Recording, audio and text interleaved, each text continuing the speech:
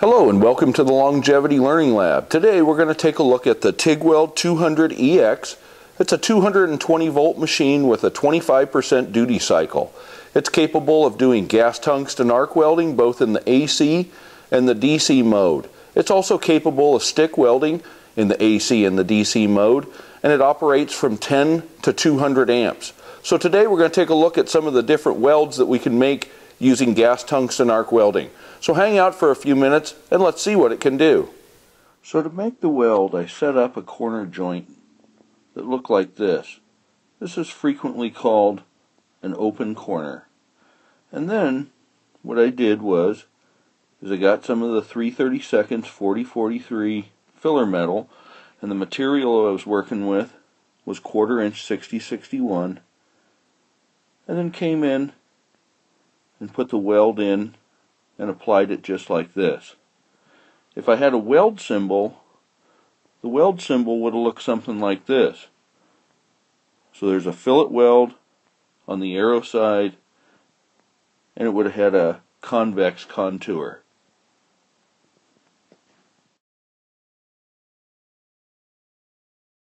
So on the face of the machine I set it to AC and then adjusted the amperage to about 125. I installed a number 7 cup and used a 332nd 2% thoriated tungsten. So using the foot control, I went ahead and started welding up the joint. I was using some 332nds 4043 filler wire.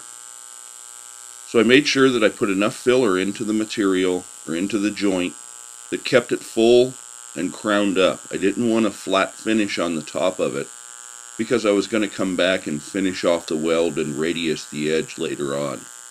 So once again, trying to keep the end of that filler rod right in that stream of that gas, especially that aluminum, if we pull it out of that stream of the gas, we can get contamination. So there's the appearance of the corner joint after I got done. So I made some small adjustments to the machine. I made one small section at 120 hertz, but then finished the weld up at 240 hertz.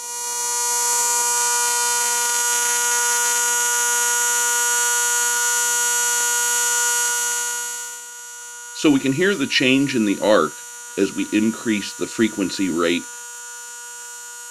The arc becomes more focused and a bead slightly narrower. But once again, I tried to keep it full and then taper off at the end not to leave a crater crack.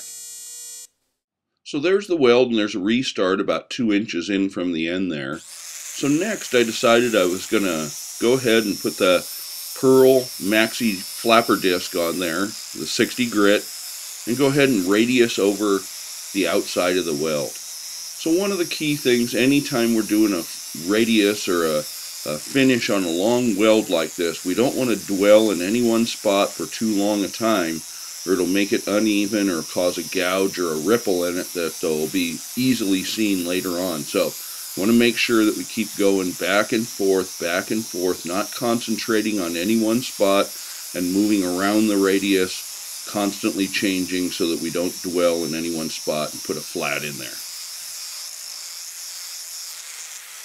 So there's the finish on it, and then I decided to see what kind of penetration I got. So I went ahead and cut it with a saw and looked on the inside.